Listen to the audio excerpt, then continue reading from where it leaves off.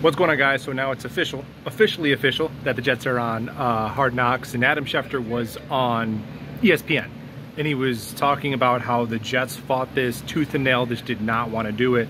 Uh, NFL force in their hand and Schefter reported that one of the sticking points from the Jets brass perspective is that they feel it's inhumane to show players being released, which is obviously a huge part of the show, is um, the drama of cut down day and guys finding out they're no longer on the team or they're not going to make the roster. And for a lot of those guys, I know we think of professional athletes, they have more money than God, but for those guys at the bottom of the roster, um, some of them kind of live regular lives and they, are trying to find a niche for themselves where they can uh, get tap into some of that generational wealth, but it's not guaranteed uh, to every guy who's just at camp. So that definitely is, you can understand why that wouldn't want to be shown. And to me, that had Robert Saleh written all over it.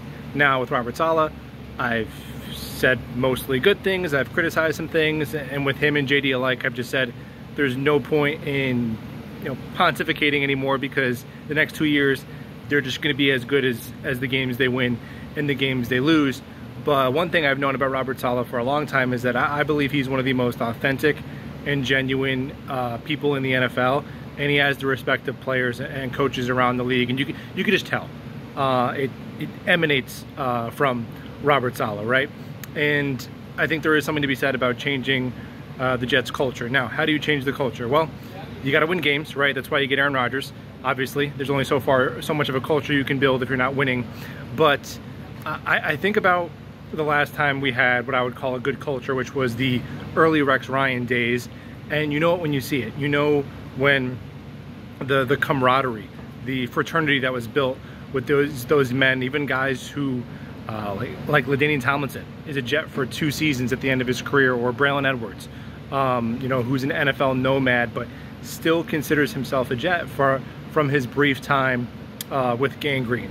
And I think that's what we're trying to establish here.